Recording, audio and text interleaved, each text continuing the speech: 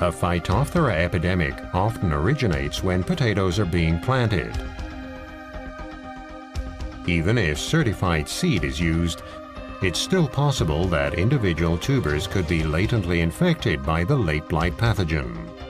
Between starch cells inside the infected seed tubers, hyphae of Phytophthora infestans grow, while on the outside, the tubers look completely healthy. As soon as the infected tuber begins to germinate, the Phytophthora mycelium grows into the sprouting shoots. If the degree of infection is not too high, the plants emerge and survive without any sign of bearing the pathogen inside.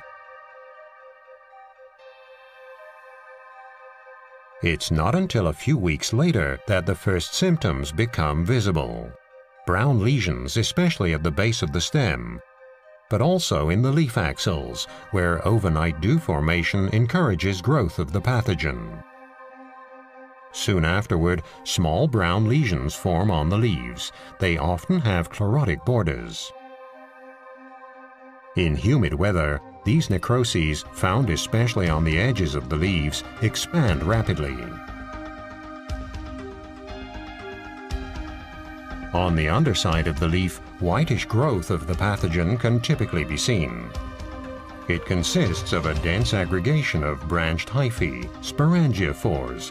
Sporangia are the asexually formed reproductive organs of Phytophthora infestans.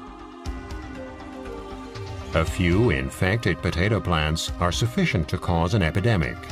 Continuously humid weather favors the spread of Phytophthora infestans.